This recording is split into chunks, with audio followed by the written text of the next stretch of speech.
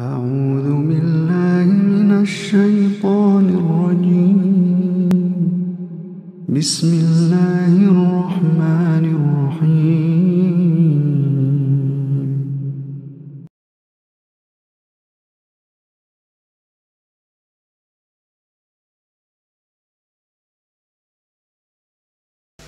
الحمد لله والصلاة والسلام على رسول الله أما بعد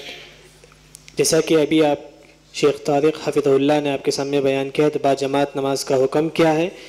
لیکن شریعت میں آسانی بھی ہے، کچھ لوگوں کے پاس عذر پایا جاتا ہے، جس کی وجہ سے وہ نماز چھوڑنے پر مجبور ہوتے ہیں۔ آئیے ہم پوچھیں فضیت الشیخ اظہر مدنی حفظ اللہ تھے شیخ وہ کون سے آزار ہیں جن کی وجہ سے با جماعت نماز چھوڑ سکتے ہیں؟ بسم اللہ والحمد للہ والصلاة والسلام علی رسول اللہ، اما بعد۔ جیسا کہ آپ نے ابھی سنا کہ با جماعت نماز پڑھنا مردوں پر جو ہے واجب ہے، ضروری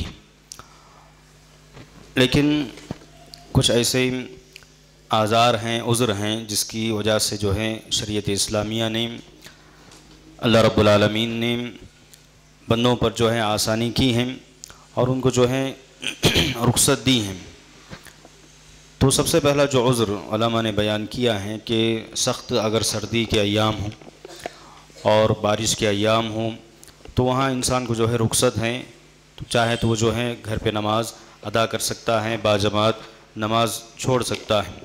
عبداللہ بن عمر رضی اللہ تعالیٰ عنہما سے جو حدیث مروی ہیں، صحیح بخاری، صحیح مسلم میں، اس میں الفاظ آئے ہیں كان رسول الله صلى الله عليه وسلم يأمر المؤذن إذا كانت ليلة باردة ذات مطر يقول ألا صلوا في رحالكم کہتے ہیں کہ اللہ کے نبی صلی اللہ علیہ وسلم مؤذن کو اذان دینے والے کو یہ حکم دیتے تھے۔ اس وقت جب کیا ہے، سخت سردی کی رات ہوتی، بارش کی رات ہوتی، سخت بارش ہوتی، تو اللہ کے نبی صلی اللہ علیہ وسلم یہ حکم دیتے کہ حیا علی الصلاح کی جگہ پر حیا علی الصلاح نماز کے لیے آؤ۔ اس جگہ پر جو ہے اللہ صلو فی رحالکم، کہ تم اپنے گھروں میں نماز ادا کرو۔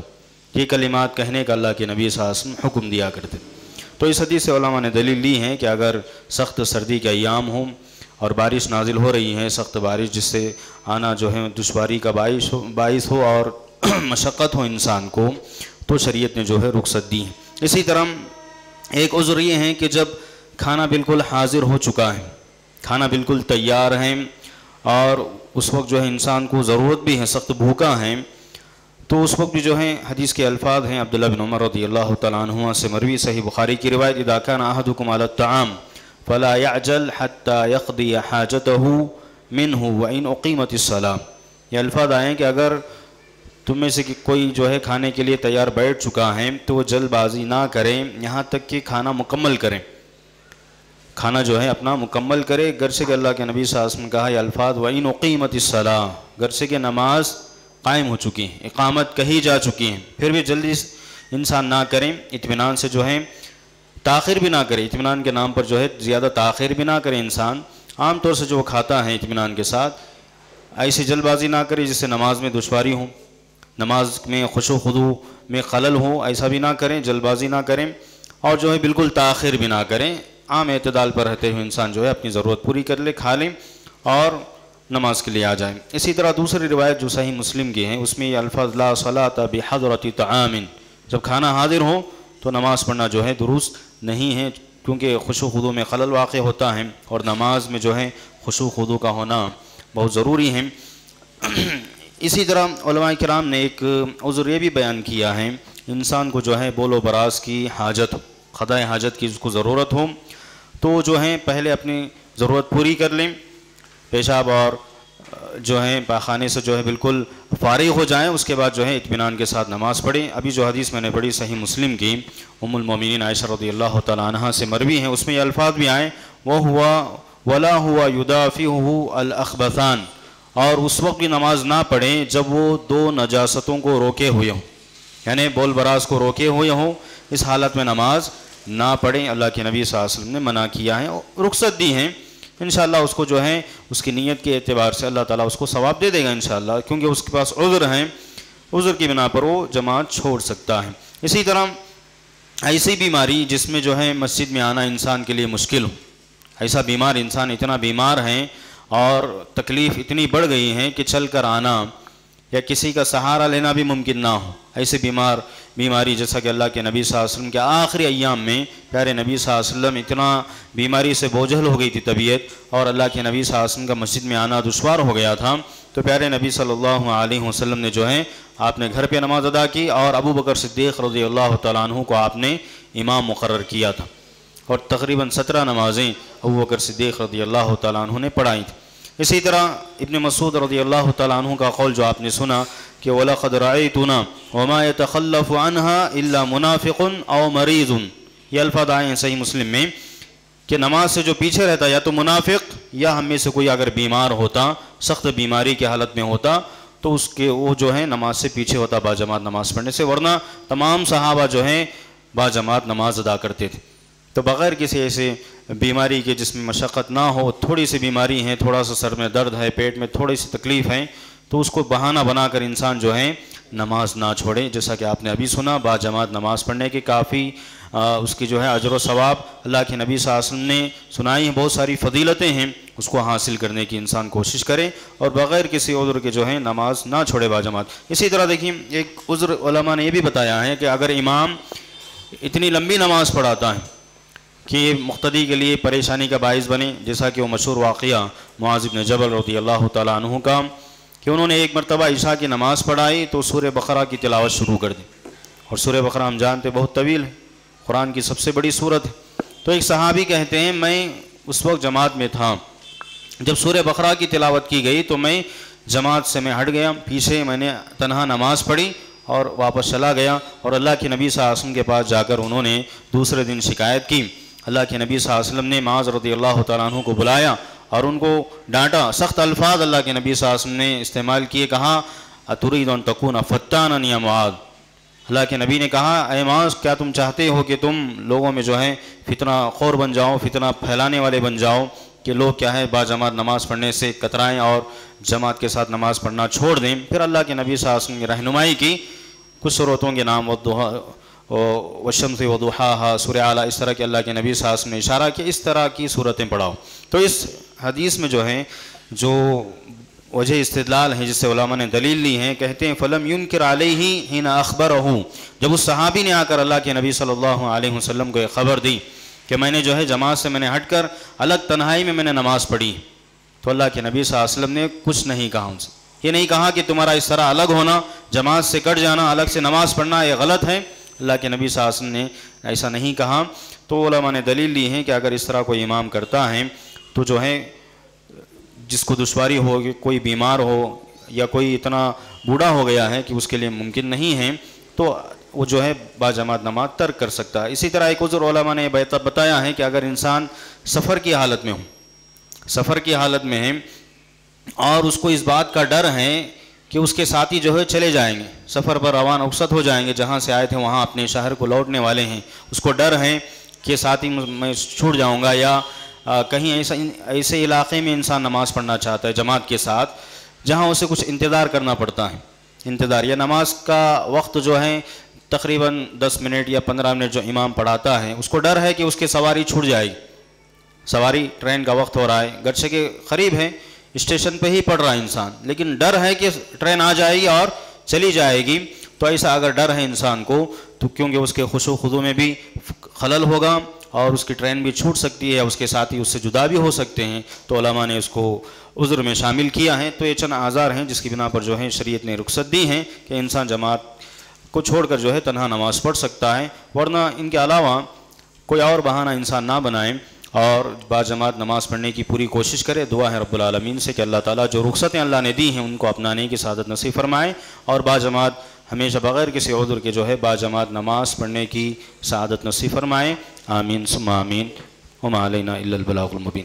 جزاک اللہ خیر و احسن الجزا معلوم یہ ہوا کہ جماعت کے ساتھ نماز پڑھنا چاہیے، اگر عذر ہو تو نہ ہو، لیکن بہتر کوشش کرے کہ ہمیشہ جماعت کے ساتھ نماز پڑھے، کیونکہ آپ صلی اللہ علیہ وسلم فرماتے ہیں مصد احمد کی روایت ہے، اگر کوئی تین شخص ہو، وہ تین شخص اگر جماعت بنا کر نہ پڑھے استحور علیہم الشیطان، شیطان ان کا ساتھی بن جاتا ہے۔ اس لیے کہ گھر جیسے کوشش کرے کہ ہم جماعت کے ساتھ نماز پڑھے آئیے ہم ایک اور سوال فضیت الشیخ طارق مدنی حفظ اللہ سے سوال کرے کہ اگر کسی مسجد میں جماعت ہو چکی ہو، کیا اسی مسجد میں دوسری جماعت بنا کر پڑھا جا سکتا ہے یا نہیں؟ مسجد میں دوسری جماعت بنانے سے متعلق سب سے پہلے تو ہم یہ یاد رکھیں کہ وہ مسجدیں جس میں باقاعدہ امام، مؤذن مقرر ہوتے ہیں، امام ہوتا ہے، اس کی امامت باقاعدہ وہ اسی کے لیے مقرر ہے، مؤذن ہے، وہ وقت پہ اذان دیتا ہے۔ تو اس قسم کی اگر کوئی مسجد ہے، تو ایسی مسجدوں کے تعلق سے علماء کا اختلاف ہے کہ وہاں پر دوسری جماعت بنائی جا سکتی ہے یا وہاں پر دوسری جماعت بنایا جانا غلط ہے۔ تو اس کے تعلق سے ہم دیکھیں کہ نبی کریم علیہ الصلاۃ والسلام سے کسی مسجد میں دوسری نماز، دوسری جماعت بنا کر کے نماز پڑھنا آپ کے عمل سے کہیں یہ ثابت نہیں ہے۔ اور نبی کریم علیہ الصلاۃ والسلام کے زمانے میں صحابہ کرام نے کسی مسجد میں باقاعدہ دوسری جماعت بنا کر کے نماز پڑھی ہو، ایسا بھی کوئی عمل ثابت نہیں ہے۔ اب جو لوگ اس کے جواز کے قائل ہیں، زیادہ سے زیادہ ایک حدیث متصدق والی انہیں ملتی ہے، من تصدق علی هذا کہ کوئی آدمی تاخیر سے پہنچا، نماز ہو چکی تھی، وہ اکیلا تھا۔ اللہ کے نبی علیہ السلام نے کہا کہ کوئی ہے جو تم میں سے اس پہ صدقہ کر دے۔ وہ بگر صدیق رضی اللہ عنہ جو آپ کے ساتھ نماز پڑھ چکے تھے، اٹھے اور اس کے ساتھ جا کر کے آپ نے نماز دوبارہ پڑھ لی۔ ایک اور مرتبہ آپ نے وہ چار رکعت یا دو رکعت جو بھی نماز رہی وہ آپ نے پڑھ لی تھی۔ تو گویا ایک نماز پڑھے ہوئے شخص نے نماز نہ پڑھے ہوئے شخص پر صدقہ کیا۔ انہوں نے اس پر صدقہ کیا۔ تو اس میں ایسی کوئی شکل نہیں ہے کہ سب لوگوں نے نماز نہ پڑھی ہو، انہوں نے مل کر کے جماعت بنائی ہو۔ ایسا کوئی ثبوت اس حدیث سے ملتا نہیں ہے۔ اب دیکھیں کہ صحابہ کا سلف کا طریقہ کیا رہا ہے۔ تو امام البانی رحمہ اللہ نے لکھا ہے کہ ان مسائل پر امام شافعی کا بڑا بہترین کلام ہے۔ وہ الام میں لکھتے ہیں کہ اذا دخل جماعت المسجد فوجد الامام قد صلى صلوا فرادا کہ اگر کچھ لوگ مسجد میں آئیں دیکھیں کہ امام نماز پڑھ چکا ہے تو وہ اکیلے نماز پڑھ لیں گے۔ فَإِن صَلَّوْا جَمَاعَةً أَجْزَأَتْهُمْ صَلَاتُهُمْ وَلَكِنِّي أَكْرَهُ لَهُمْ ذَلِكَ۔ اگر وہ باجماعت دوبارہ جماعت بنا کے پڑھتے ہیں تو میں اس کو ناپسند کرتا ہوں۔ اور سلف صالحین اکرہو کراہت کا لفظ جب کہتے تھے تو اس سے ان کے نزدیک حرام مراد ہوا کرتا تھا۔ کہتے کہ یہ چیز حرام ہے، ناجائز ہے کہ وہ باقاعدہ کوئی دوسری جماعت بنا کر کے نماز پڑھیں۔ کہتے ہیں لِأَنَّهُ لَمْ يَكُن مِّنْ أَحْوَالِ السَّلَف، کیونکہ سلف کا یہ طریقہ نہیں تھا۔ کہ دوبارہ جماعت بنا کے نماز پڑھیں۔ پھر آپ نے کہا کہ وَأَمَّا مَسْجِدٌ فِي قَارِعَةِ الطَّرِيقِ، لَيْسَ لَهُ إِمَامٌ رَاتِبٌ وَلَا مُؤَذِّنٌ رَاتِبٌ، فَلَا بَأْسَ مِن تَعَدُّدِ الْجَمَاعَةِ فِي۔ اگر کوئی راستے کی مسجد ہے جہاں کا کوئی امام مقرر نہیں ہے، کوئی مؤذن مقرر نہیں ہے، بس مسافر لوگ اترتے ہیں، نماز پڑھتے ہیں، نکلتے ہیں، اترتے ہیں، نماز پڑھتے ہیں، نکلتے ہیں ایسی کوئی مسجد ہو تو اس میں بار بار آئیں، لوگ جماعت بنا بنا کے پڑھتے جائیں، اس میں کوئی حرج کی بات نہیں ہے۔ پھر کہتے ہیں إنا قد حفظنا أن جماعة من أصحاب النبي صلى الله عليه وسلم فأتتهم صلاة مع الجماعة، فصلوا فرادا مع أنهم كانوا قادرين على أن يجمعوا فيه مرة أخرى. کہتے ہیں امام شافعی کہ ہمیں اچھے طریقے سے یاد ہے کہ کئی مرتبہ صحابہ کی نمازیں چھوٹی ہیں وہ آ کر کے اکیلے نماز پڑھے ہیں۔ جبکہ ممکن تھا کہ وہ جماعت بنا کر کے نماز پڑھ سکتے تھے، لیکن انہوں نے، لیکنہم لم يفعلوا لانہم کرہوا ان يجمعوا فی مسجد مرتين کیونکہ انہوں نے اس بات کو ناپسند کیا کہ ایک ہی مسجد میں دو دو جماعتیں پڑھی جائیں۔ اسی طریقے سے امام نافع، مولا ابن عمر اور سالم ابن عبداللہ اور اسی طریقے سے عبداللہ بن مسعود رضی اللہ عنہما وغیرہ سے یہی ثابت ہے کہ وہ کسی مسجد میں جہاں نماز ہو چکی ہو، وہ دوبارہ جماعت بنا کر کے نہیں پڑھا کرتے تھے۔ تو اس مسئلے میں احناف حق پر ہیں۔ احناف عام طور پر جماعت ثانیہ سے روکتے ہیں۔ تو جماعت ثانیہ کا کوئی ثبوت نہیں ہے۔ زیادہ سے زیادہ جو حدیث میں نے پیش کی ہے، ابو بکر صدیق کے صدقہ کرنے کی، وہ ایک حدیث بس ثبوت ہے۔ اور اس میں فرض پڑھا ہوا ایک شخص ہے، فرض نہ پڑھا ہوا ایک شخص ہے۔ اب اس کے علاوہ سب پڑھے، نہ پڑھے ہوئے آ کر کے جماعت بنا کے پڑھیں۔ اگرچہ کہ بعض حدیث علماء نے اس کا فتویٰ دیا ہے، لیکن زیادہ صحیح قول یہ ہے کہ جس جمع، جس جگہ پر ایک مرتبہ نماز با جماعت ہو چکی ہو، وہاں پر با جماعت دوبارہ نماز نہیں پڑھی جائے گی۔ جہاں جہاں پر نماز نہیں ہوئی ہو، راستے کی مسجد ہو تو مسئلہ مختلف ہے۔ آخری بات اس میں سن لیں۔ نبی کریم علیہ السلام والسلام نے جو ابھی میں نے حدیث آپ کو بتائی تھی کہ اللہ کے نبی علیہ السلام نے کہا کہ میرا دل چاہتا ہے کہ کسی کو اقامت کا حکم دوں، امامت کا حکم دوں، پھر میں جا کر کے گھروں کو جلا دوں۔ تصور کیجیے، اگر پہلی جماعت، دوسری جماعت، تیسری جماعت، چوتھی جماعت جماعتوں کا سلسلہ ہوتا، تو کس جماعت سے پیچھے رہنے والوں کو آپ جلاتے؟ اگر پہلی جماعت ہے تو دوسری جماعت تو موجود ہے، جائیں گے دوسری جماعت بن جائے گی، جائیں گے تیسری جماعت بن جائیں گی۔ تو جلانے کا ارادہ آپ کا کس طریقے سے ہوا؟ تو اس سے یہی پتا چلتا ہے کہ جماعت ثانیہ شران درست نہیں ہے اور جماعت ثانیہ کا جو رواج چل پڑا ہے اس سے جماعت اولا پر بہت فرق پڑا ہے۔ جماعت اولا کی اہمیت ہی نہیں رہی ہم لوگوں کے پاس۔ کئی اہل حدیثوں کے پاس خاص طور پہ۔ اہل حدیثوں کے پاس خاص طور پہ جماعت اولا کی کوئی اہمیت نہیں رہی یا با جماعت نماز کی اہمیت نہیں رہی کس لیے؟ کیونکہ حنفیوں کی پیچھے نماز نہیں ہوتی، اکیلے پڑھو مسجدیں چھوڑ دو۔ یا حنف اہل حدیث مسجد ہے تو اطمینان سے جاؤ، جا کر کے جماعت بنا لو، کیونکہ جماعت ثانیہ سالس عرابیہ سب ہیں، دوسری، تیسری، چوتھی، جو چاہے بنا لو۔ تو نہ نماز با جماعت کی اہمیت رہی، نہ جماعت اولا کی اہمیت رہی، جبکہ دونوں مسئلے غلط ہیں۔ دونوں مسئلے غلط ہیں۔ صحیح یہی ہے کہ با جماعت نماز کسی بھی مسجد میں جبکہ وہ امام اور معذن اس کا مقرر ہو اس میں دوبارہ جماعت نہیں بنانی چاہیے۔ اللہ عالم جزاک اللہ خیر و احسن الجزا اس کے بعد ہم پوچھیں گے فضیلت الشیخ کے امین الرحمن عمر مدنی حفظ اللہ سے وہ کون سے اعمال ہیں جس کی وجہ سے ہمارے نماز باطل ہو جاتے ہیں؟ بسم اللہ والصلاة والسلام علی رسول اللہ وبعد۔ ابھی شیخ طارق حفظ اللہ نے جو جماعت ثانیہ کا تذکرہ کیا تھا تو لوگ عام طور پر جماعت ثانیہ بناتے کیوں ہیں؟ وہ سمجھتے ہیں کہ جماعت کا ثواب ہم کو مل جائے گا۔ جبکہ ایک واضح حدیث ہے کہ ایک انسان مسجد سے نکلے اور گھر سے نکلے اور مسجد کو پہنچے۔ اور امام کو اس نے دیکھا کہ سلام پھیر چکے ہیں۔ جبکہ وہ جماعت میں شامل ہونے کے لیے گھر سے نکلا تھا۔ کسی ٹرافک کی وجہ سے یا کسی وجہ سے وہ تاخیر سے پہنچا تو اس کو مکمل جماعت کا ثواب ملے گا۔ جو آج گرچہ وہ جماعت کے ساتھ نہیں پڑھ رہا ہے، تنہا پڑھ رہا ہے، کیونکہ جماعت ہو چکی ہے اور امام نے سلام پھیر دیا ہے، تو اس کو مکمل جماعت کا ثواب ملے گا۔ کب؟ جب اس کی خواہش تھی اور تمنا تھی کہ وہ جماعت کے ساتھ آ کر پڑھے۔ جب اس کو ثواب مل ہی رہا ہے، تو جماعت ثانیہ بنانے کا کوئی مطلب نہیں ہے۔ ابھی مغرب سے پہلے میں نے ایک موضوع بتایا تھا کہ نماز میں کون سے امور جائز ہیں۔ ان میں سے ایک بات میں نے یہ بھی بتائی کہ ہلکا سا اشارہ کسی ضرورت پر جائز ہے۔ جیسا کہ جابر رضی اللہ سے مروی ہے کہ اللہ کے وسلم میں ایک مرتبہ بیمار ہو گئے، تو ہم آپ کے پیچھے بیٹھ کر نماز پڑھ رہے تھے۔ چونکہ آپ وسلم بھی بیٹھ کر نماز پڑھ رہے تھے۔ تو آپ نے ہماری طرف متوجہ ہو کے دیکھا اور کہا، دیکھا کہ ہم لوگ کھڑے ہو کے نماز پڑھ رہے تھے۔ تو آپ وسلم نے اشارہ کیا اور کہا کہ ہم لوگ بیٹھ جائیں۔ تو چونکہ آپ وسلم بیٹھ کر نماز پڑھ رہے تھے اور پیچھے لوگ کھڑے ہو کر نماز پڑھ رہے تھے، تو آپ نے ان کی طرف متوجہ ہو کر اشارہ کیا اور کہا کہ تم لوگ بھی بیٹھ جاؤ۔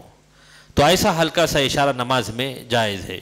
اور اس سے مسئلہ یہ بھی ثابت ہوا کہ امام جب بیٹھ کر نماز پڑھے تو مقتدیوں کو بھی بیٹھ کر نماز پڑھنا چاہیے۔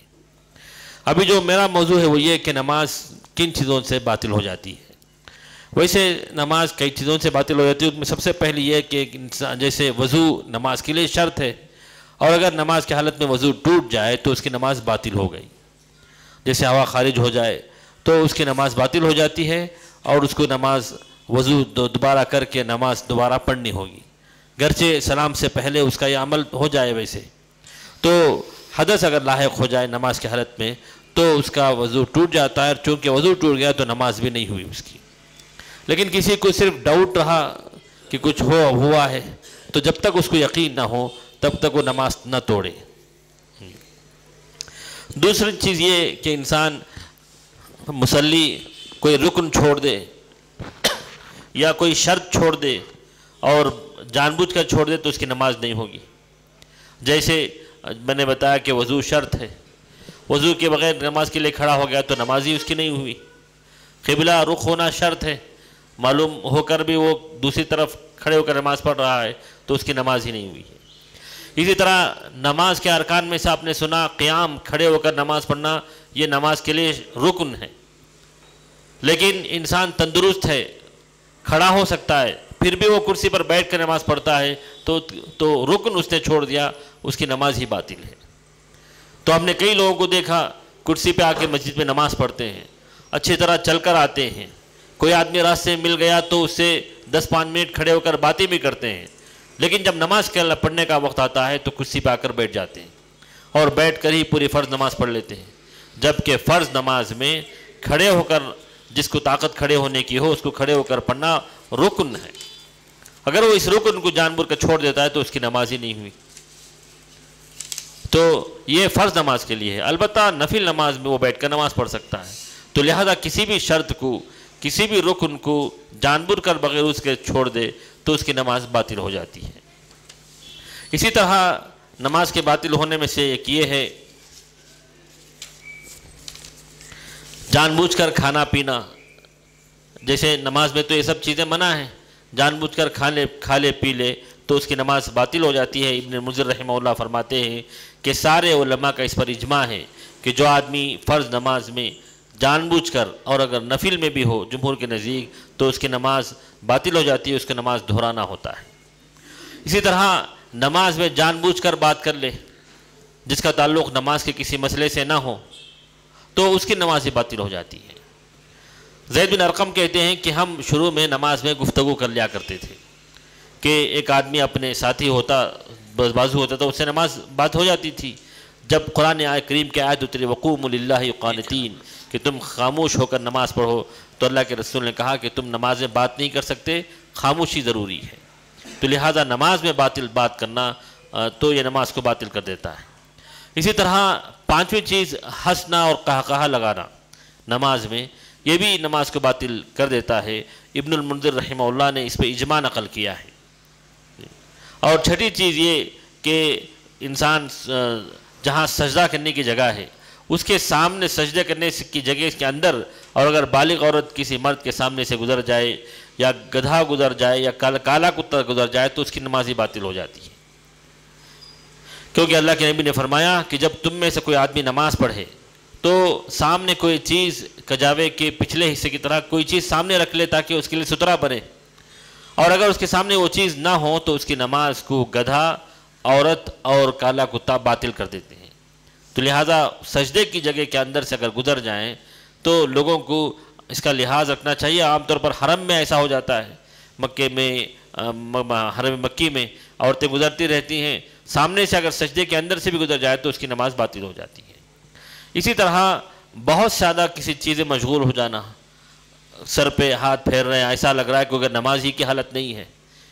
تو ایسا بہت کثیر عمل بھی انسان کی نماز کو باطل کر دیتا ہے۔ تو لہٰذا یہ سب امور ہیں جس کی وجہ سے انسان کی نماز باطل ہو جاتی ہے، ان چیزوں سے پرہیز کرنا چاہیے۔ جزاک اللہ خیر و احسن الجزا اس مجلس کا آخری جو سوال ہے، ہم کریں گے فضیت الشیخ طارق سوداگر مدنی حفظ اللہ سے. کیا شیخ، اگر کوئی صف، پہلی صف جو مکمل ہو چکی ہو، اگر دوسری صف میں اگر کوئی آ کر تنہا کھڑتا ہے اور تنہا اپنی نماز کو مکمل کر لیتا ہے، کیا اس کی نماز شمار کیا جائے گا؟ نہیں.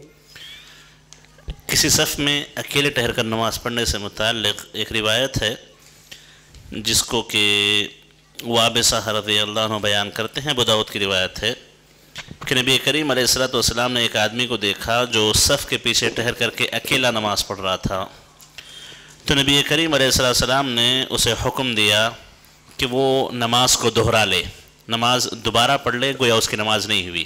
گویا اس کی نماز نہیں ہوئی ہے۔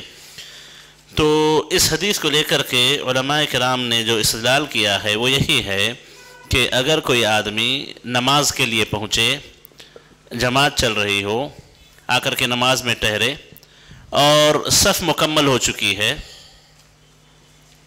پچھلی پچھلے صف میں اسے ٹہرنا پڑے، تو بعض لوگوں نے یہاں پہ یہ مشہور کر دیا ہے کہ وہ سامنے سے کسی کو کھینچ لے گا، اشارہ کرے گا تاکہ وہ آ جائے، اس کی صف بن جائے۔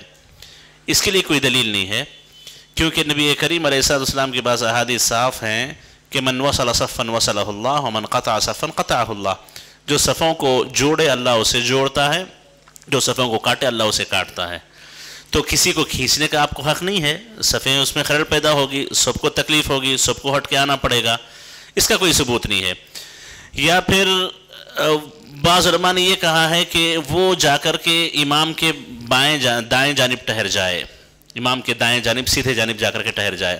اگر ممکن ہو تو کر لیں، اگر ممکن نہ ہو، صفیں بہت سی ہوں، وہاں تک پہنچنے میں بہت زیادہ حرج ہے، بہت زیادہ تکلیف ہے۔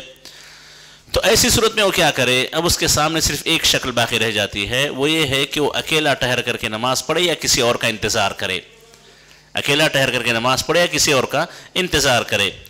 تو ایسے حالات میں شیخ ابن عباس رحمہ اللہ، شیخ البانی رحمہ اللہ اور اسی طریقے سے مختلف علماء کرام کے فتاوہ ہیں اور مختلف مؤلفین نے اپنی کتابوں میں یہ وضاحت اور سراحت بھی کی ہے کہ اگر حالات ایسے ہوں کہ کسی کے آنے کی امید بھی نہیں ہے، انتظار کرے گا تو اس کی نماز چلی جائے گی، تو ایسے حالات میں اگر وہ اکیلا بھی نماز پڑھ لے صف کے پیچھے، تو انشاءاللہ کسی قسم کے کوئی حرج کی بات نہیں ہے۔ اور جانتے بوجھتے صف میں جگہ خالی ہے، پھر بھی وہ پیچھے پڑھ لے، یا رکو پانے کے لیے وہیں ٹھہر جائے، یا فین کے لیے وہیں ٹھہر جائے، کوئی بھی وجہ کیوں نہ ہو، مثال کے طور پر صف میں جگہ خالی ہے، وہ اکیلا نماز پڑھ لے، نماز کے ختم ہونے تک کوئی اس کے ساتھ آ کر کے نہ جڑا ہو، تو ایسی صورت میں اس کا حکم وہی ہے جو اللہ کے علیہ وسلم نے اس آدمی کو حکم دیا تھا کہ وہ نماز دہرا لیں نماز دہرا لیں۔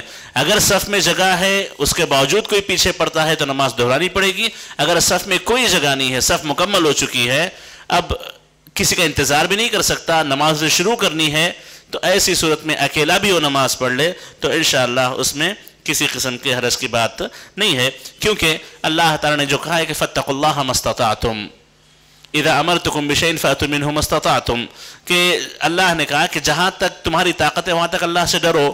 اور اللہ کے نبی علیہ السلام کا حکم ہے کہ جب میں کسی بات کا حکم دوں تو جہاں تک تمہاری طاقت ہے اتنا کرو۔ اب میری طاقت کیا ہے؟ کہ میں کسی کو کھینچ نہیں سکتا، نہ امام کے بازو جا کے ٹہر سکتا ہوں۔ تو میں کیا کروں گا؟ اپنی نماز شروع کروں گا، کوئی آ کے مل جائے تو مل جائے، نہ ملے تو میں نے اپنا واجب تو ادا کر دیا۔ تو ایسی حالت میں انشاءاللہ نماز کسی کی ہو جائے نماز کوئی پڑھ لے تو انشاءاللہ نماز پر کوئی فرق نہیں پڑے گا۔ اللہ عالم شیخ سے ہی ایک اور سوال ہے کیا رکوع سے اٹھنے کے بعد ہاتھ کہاں باندھا جائے گا؟ میں وقت کافی ہو چکا ہے سوالات مختصر سے جوابات دیں گے انشاءاللہ۔ سوال یہ ہے کہ رکوع سے اٹھنے کے بعد ہاتھ کہاں باندھے جائیں؟ حدیث میں نے ارکان میں بیان کی تھی کہ ہڈیاں واپس اپنی جگہ پہ لوٹنی چاہیے۔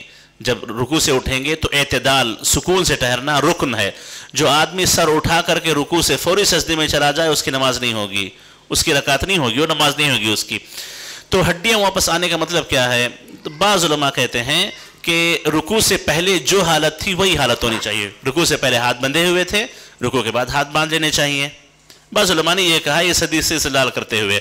اور دوسرے علماء کہتے ہیں کہ ہاتھ باندھنا ایک عمل ہے اور عمل کے لیے واضح دلیل چاہیے۔ اور کوئی واضح دلیل نہیں ہے کہ رکوع کے بعد ہاتھ باندھا جائے گا تو وہ اٹھ کر کے اطمینان سے ہاتھ چھوڑ کر کے ٹھہر جائے۔ یہ اس کے لیے کافی ہے۔ تو یہی صحیح ہے کہ وہ ہاتھ چھوڑ دے، ہاتھ باندھنا اس کے لیے درست نہیں ہے۔ اگرچہ کہ بعض علماء نے اجازت دی ہے یا پھر اس کو سنت قرار دیا ہے کہ رکوع کے بعد ہاتھ باندھے رکھنے چاہیے۔ ان کے پاس شبہ دلیل ہے دلیل تو نہیں ہے ایک شبہ ہے جبکہ زیادہ سریح یہی ہے کہ ہاتھ باندھنا ایک عمل ہے عمل کے لیے واضح دلیل چاہیے۔ اور کسی واضح دلیل میں ایسی بات نہیں ہے کہ رکوع سے اٹھنے کے بعد مسلی کو دوبارہ سینے پر ہاتھ رکھنے چاہیے ایسی کوئی واضح دلیل نہیں پائی جاتی۔ شیخ ایک اور سوال ہے نماز جنازہ کا مختصر طریقہ بیان کیجیے۔ نماز جنازہ کا مختصر طریقہ یہ ہے کہ نیت باندھ کر جب اللہ اکبر کہتے ہیں تو پہلی تکبیر کہیں، اس کے بعد ضم سورہ پڑھنے کی، دعا استفتاح پڑھنے کی ضرورت نہیں ہے، سورہ فاتحہ پڑھیں۔ ضم، دعا استفتاح یعنی اللہ مباعد بین و بین خطایا پڑھنے کی ضرورت نہیں ہے۔ اعوذ باللہ، بسم اللہ پڑھ کر سورہ فاتحہ پڑھیں، پھر کوئی ضم سورہ پڑھیں۔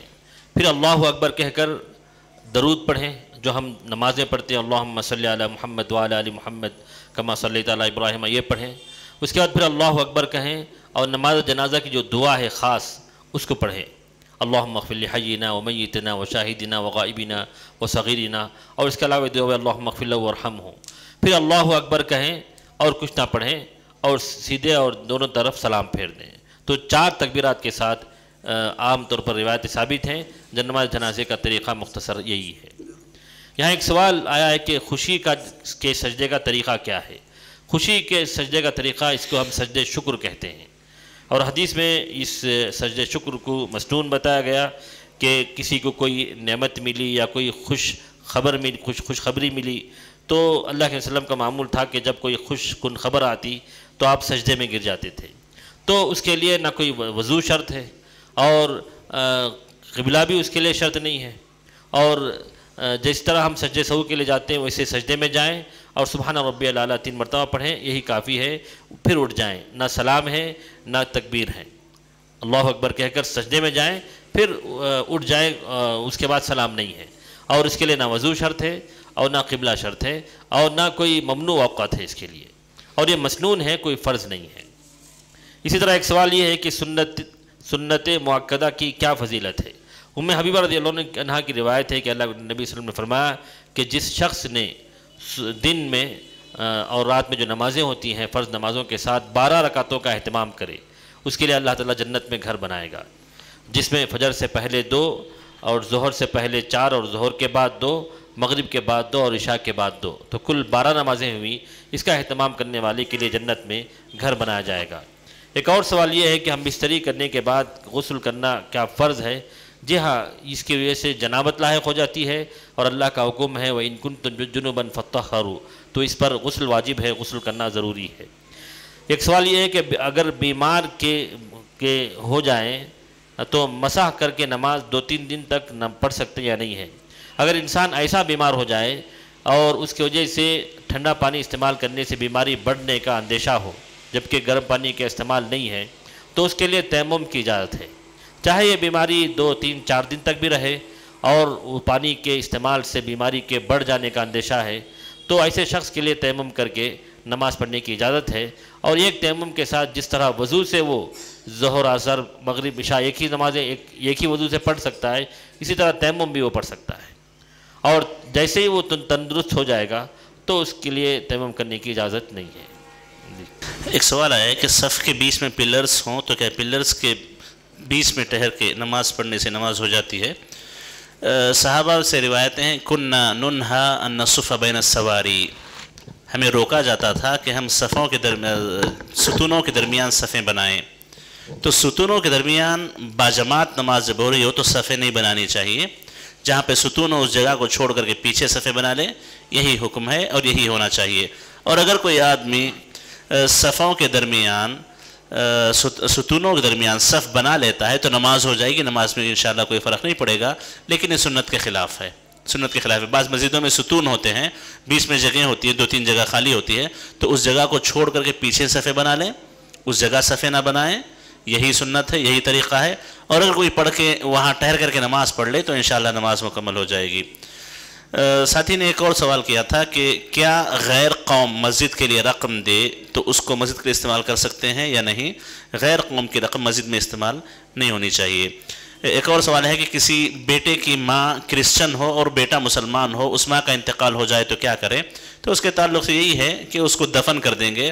جیسا ابو طالب کا جب انتقال ہوا تھا تو اللہ کے علیہ السلام نے علی بن ابی طالب رضی سے کہا تھا کہ اذهب فواری اباک۔ اذهب فواری باغ جاؤ، جا کر کے اپنے باپ کو دفن کر دو۔ تو اس کو دفن کر دیا جائے گا۔ اللہ عالم الحمدللہ، عصر کے بعد سے اب تک ہمارا یہ اجلاس چلا۔